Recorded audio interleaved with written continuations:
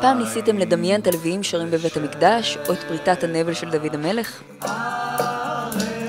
אילן גרין, המוכר לנו כגרין מנקמת הטרקטור, התחיל לעבוד בדרכו המיוחדת על כלים תנכיים, פרויקט מיוחד בשיתוף עם בית אביחי.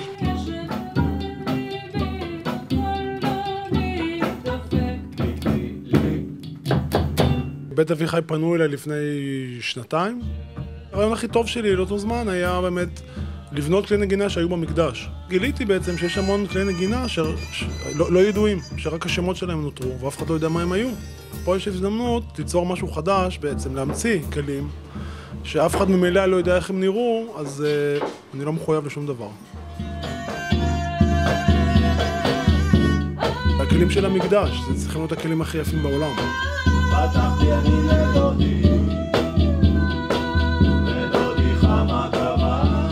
נכללו במינים ובעוגב. מינים נחשב שם של כלי נגינה, ואני מהמינים החלטתי לעשות סדרה של שבעה כלי הקשה קטנים על פי שבעת המינים. חיטה, תאנה, גפן, זית, זה השעורה, התמר, זה הרימון.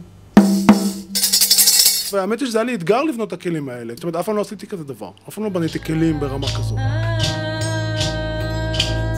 אני חושב שיש כאן משהו באמת ייחודי, בעצם במדרש מוזיקה.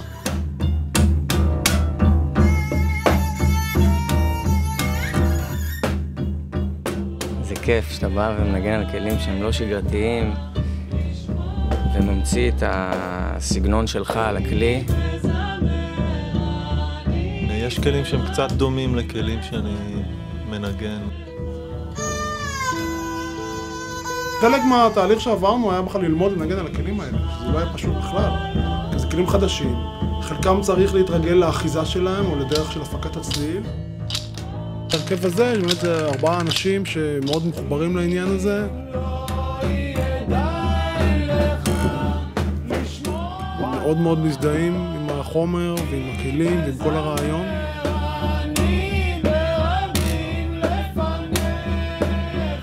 לא היה לי ברור בהתחלה בכלל מה, מה היו הטקסטים.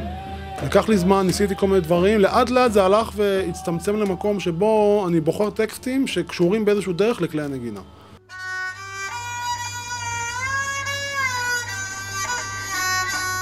יש לנו טקסט למשל על יריחו, שיש, אה, מסופר שמיריחו היו שומעים כל מיני צלילים שבאו מבית המקדש. באתי ממקום שהמקדש זה חלק מההיסטוריה שלי גם. אבות אבותיי הקריבו שם קורבנות. והמקום הזה מרגש אותי.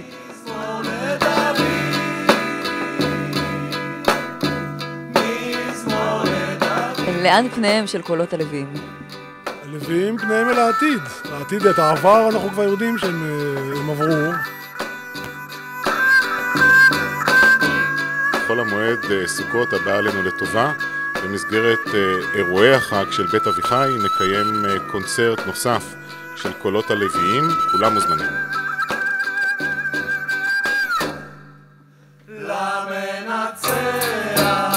כנראה שמנגינה זורמת בנימי הנפש ועוברת בירושה.